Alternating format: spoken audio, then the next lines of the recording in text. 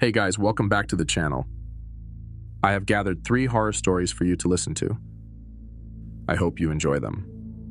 If you love stories like these, please give us a like. And if you want to support the channel, please subscribe. Thank you so much for all the support. Now, on with the stories. In 1986, a brutal crime shook Los Angeles and would ultimately remain unresolved for over two decades. Its dark truths buried beneath layers of misplaced leads and overlooked evidence. This story starts with a woman named Sherri Rasmussen, an accomplished 29 year old nursing director known for her compassion, dedication, and success. As a leader at Glendale Adventist Medical Center, Sherri had devoted her life to helping others, guiding her staff, and caring deeply for her patients. She was the kind of person people gravitated toward, and her life seemed like it was on the path to continued happiness. In 1985, Sherri found love with John Ruetten, a mechanical engineer who shared her values and her excitement for the future. The two married that year, moving into a condo in Van Nuys, ready to build a life together. But unknown to Sherri, her life with John would be haunted by a shadow from his past, a shadow that would grow darker and more menacing with time. That shadow was Stephanie Lazarus. Stephanie and John had dated casually during their college years at UCLA, and while John had moved on, Stephanie had not. Now, Stephanie wasn't just any ex girlfriend, she was a respected officer with the Los Angeles Police Department.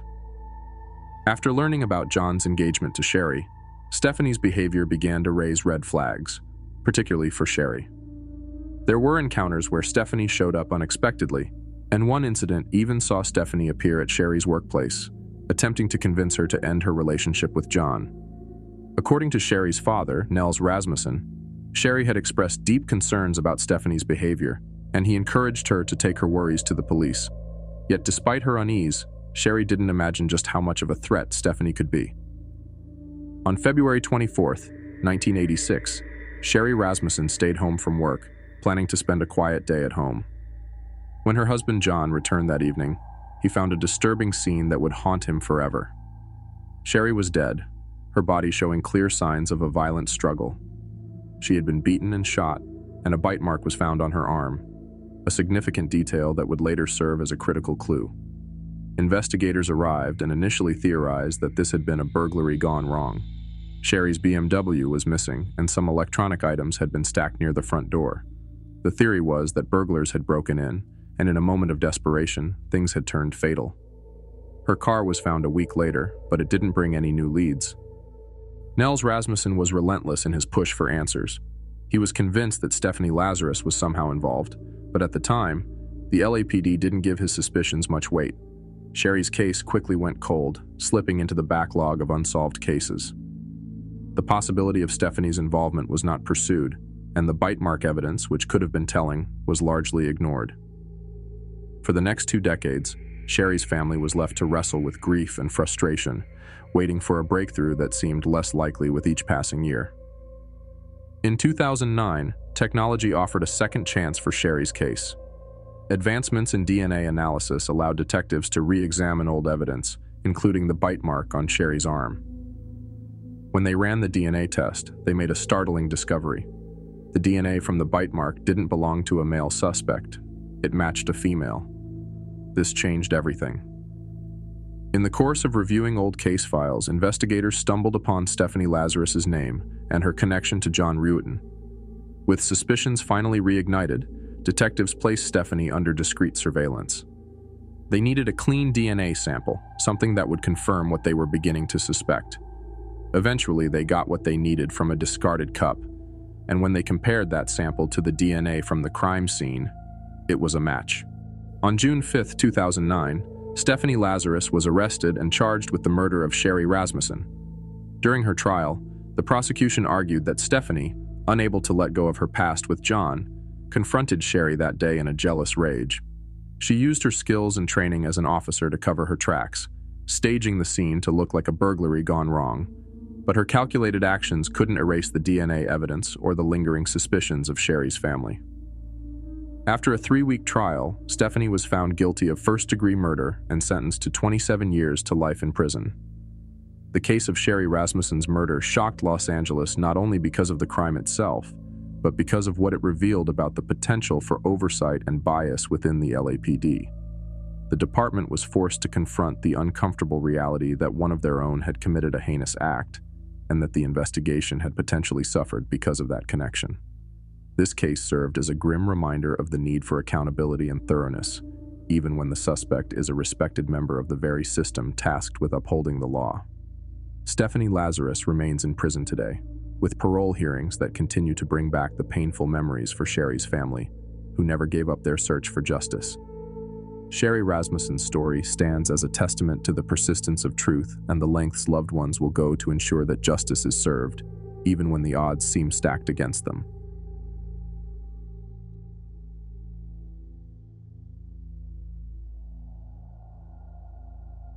In the heart of Sydney, Australia, in the quiet suburb of Blacktown, 26 year old Anita Cobby lived a life that anyone would describe as bright and full of promise. Anita was known not only for her gentle nature and striking beauty, but also for her dedication to her profession. A registered nurse, she worked long shifts caring for patients at Sydney Hospital, often going above and beyond to ensure they felt comfortable and safe. Her compassion and warmth made her a beloved figure among both her colleagues and patients. Beyond her career, Anita had once competed in beauty pageants, winning the Miss Western Suburbs title. But despite her brief brush with glamour, Anita's real calling was always her work as a nurse and her love for family and friends. Her future seemed open and filled with potential. Yet fate had a different plan, and what happened to Anita Cobby would become one of Australia's most haunting cases one that stirred national outrage and led to calls for justice that reverberated across the country. On the evening of February 2, 1986, Anita had just finished a long shift at the hospital.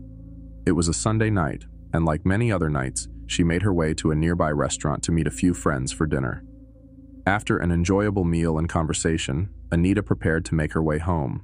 She caught a train to Blacktown, where she would typically phone her father for a ride but when she arrived at the station, the payphone she relied on was out of order. Left with little choice, she began the walk from the station to her parents' home.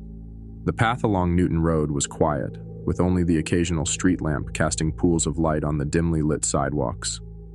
Anita knew this walk well. It was familiar to her, a journey she'd made before. But on that night, as she walked alone through the suburban silence, a dark and ominous fate was closing in. While Anita was walking, five men prowling the streets in a stolen vehicle caught sight of her. They were John Travers, Michael Murdoch, and brothers Michael, Gary, and Leslie Murphy. Their intentions were far from innocent. The group, spiraling into a dangerous world of crime and violence, seized this tragic opportunity when they saw Anita. She was forcibly taken into their vehicle, and from that point, her fate was sealed. The group drove Anita to a remote area on the outskirts of the city, a location hidden from any possible witnesses, where they subjected her to a prolonged and harrowing experience before leaving her alone in the cold, dark field. Two days later, Anita's body was discovered by a local farmer. News of the murder spread quickly, shocking the community and soon the entire nation. The peaceful suburb of Blacktown would never be the same. The investigation that followed was one of the most exhaustive manhunts in Australian history. Detectives worked around the clock, driven by the intensity of the crime and the overwhelming demand for justice. Leads were scarce at first, and the community held its breath, hoping for a breakthrough. Finally, a critical tip came in from an informant, a person familiar with John Travers, who pointed investigators in the right direction. This information broke the case open, leading authorities to the five men responsible for Anita's death. When the truth of their actions became public, the reaction was swift and filled with anger. These five men were apprehended and brought to trial. The case was so distressing that few people who heard the details could remain unmoved. In 1987, the trial ended with a verdict that would ensure the men would never see freedom again. All five were convicted and sentenced to life imprisonment without the possibility of parole. In the aftermath of the tragedy, Australia was left to grapple with the impact of Anita Cobby's murder. The brutal nature of the crime left an indelible mark on the nation's consciousness, and there was a strong public outcry for the reinstatement of the death penalty. But perhaps the most profound response came from Anita's family. Gary and Grace Lynch, her grieving parents, transformed their unimaginable pain into a mission to help others. they founded the Homicide Victims Support Group, an organization dedicated to supporting families affected by violent crime. Through this group, they provided comfort and assistance to countless individuals facing similar tragedies. Anita's legacy lived on through this organization, offering a glimmer of hope and community support in the wake of unthinkable loss. To this day, the memory of Anita Cobby is a reminder of both the darkness that exists in the world and the resilience of those who fight to bring light back into it. Her story has become a symbol of the need for community vigilance, the importance of supporting victims of violent crime, and the power of compassion to heal even the deepest wounds. Australia's collective memory holds Anita close, a painful but necessary reminder of the importance of justice and the enduring strength of the human spirit.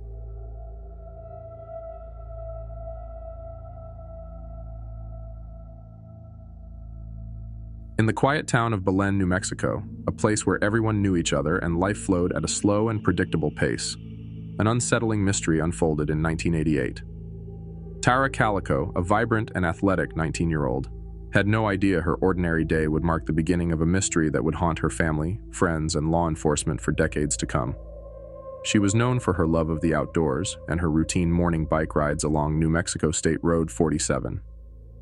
Tara's family was close-knit, especially with her mother, Patty Doel. Their bond was strong, and they shared a unique sense of trust and understanding. So when Tara borrowed her mother's neon pink Huffy mountain bike for her ride, a bike easy to spot due to its bright color, Patty thought nothing of it. It was a day like any other, or so it seemed. That morning, September 20th, 1988, Tara set out on her bicycle as usual, around 9.30 a.m. She planned to return by noon to meet her boyfriend for a tennis match later in the day. Before leaving, she reminded Patty of a simple instruction. If she wasn't back by noon, her mother should come looking for her. This had happened before, as Tara's love for the open road often led her to lose track of time. Patty, familiar with her daughter's carefree spirit, agreed to the arrangement without a second thought. By noon, however, Tara hadn't returned. Patty, keeping her promise, set off to search for her daughter along the route. She drove along the highway, calling out for her, checking the sides of the road, and looking for any sign of Tara's bike. But there was nothing. As the hours passed, Patty's worry deepened. She contacted the authorities, and a search party quickly mobilized, scouring every inch of the route Tara had taken. In the days following her disappearance, witnesses came forward, recounting seeing Tara riding her bike that morning. Some claimed they saw a light-colored pickup truck, perhaps a Ford from the 1950s, following close behind her along the highway. This strange detail piqued investigators' curiosity, but also added a disturbing layer to the case. Had Tara encountered trouble on her ride? Could someone in that vehicle have played a role in her vanishing? Then, a small, yet haunting clue emerged. Pieces of Tara's Sony Walkman and a cassette tape were discovered scattered along the road she had traveled. Patty and others who knew Tara well believed she might have left these items on purpose, marking a trail to help someone find her. It was a chilling thought that Tara might have known she was in danger. But despite intensive efforts by search teams, neither Tara nor her distinctive pink bicycle were ever found. Months went by with little progress. But in June 1989, nearly a year after Tara's disappearance, an eerie new clue surfaced, this time hundreds of miles away in Port St. Joe, Florida. In the parking lot of a convenience store, a Polaroid photograph was found that shocked and puzzled everyone who saw it. The photo showed a young woman and a boy lying in the back of a van, both bound and gagged. The girl in the photo bore a striking resemblance to Tara, down to a scar on her leg, one Tara had received from a childhood accident. Near her in the picture was a copy of the novel My Sweet Audrina by V.C. Andrews, a book that had been a personal favorite of Tara's. News of the photograph spread quickly, capturing national attention. Many, including Tara's mother Patty, believed it was her. Experts were brought in to analyze the photograph, and the opinions varied widely. Scotland Yard in the United Kingdom concluded that the woman in the photograph was Tara, while the Los Alamos National Laboratory, a U.S. government facility, disagreed. Meanwhile, the FBI, after conducting their own analysis, found the results inconclusive. The photograph remained a chilling mystery, fueling speculation and hope, but also deepening the anguish for Tara's loved ones. Years passed, and with each passing year, the questions about what happened to Tara only grew louder. Then, in 2008, the case took another turn. Valencia County Sheriff Rene Rivera announced that he had information suggesting a group of teenage boys had accidentally hit Tara with their truck on the day she disappeared. In a panic, Rivera claimed, they covered up the accident, hiding her body to escape any consequences. But without concrete evidence or a confession, the sheriff's theory remained just that a theory. Rivera's claims stirred up both hope and frustration in Tara's family and the community as they grappled with the idea that those responsible for her disappearance might still be out there, walking free. In June 2023, an unexpected announcement breathed new life into Tara's case. The Valencia County Sheriff's Office revealed that they had gathered sufficient evidence to present the investigation to the District Attorney's Office for review, potentially bringing criminal charges against those involved. The details of this new evidence and the identities of any suspects were kept under tight wraps sealed by the court to protect the integrity of the ongoing investigation. Sheriff Denise Vigil expressed renewed commitment to seeking justice for Tara, and with this new development, there was finally hope that answers might be on the horizon. The case of Tara Calico remains one of the most haunting, unsolved mysteries in the United States, a tragic story that has left a family searching for closure and a community grappling with unanswered questions.